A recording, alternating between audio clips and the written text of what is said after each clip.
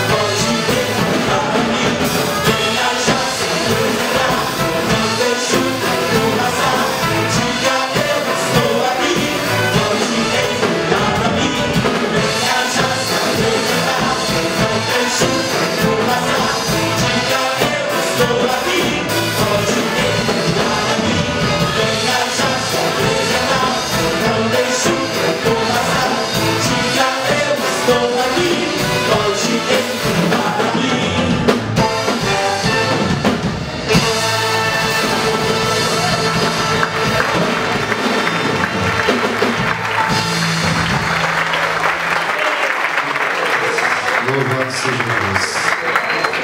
Venha se apresentar para esta guerra, né? Nós estamos em guerra espiritual.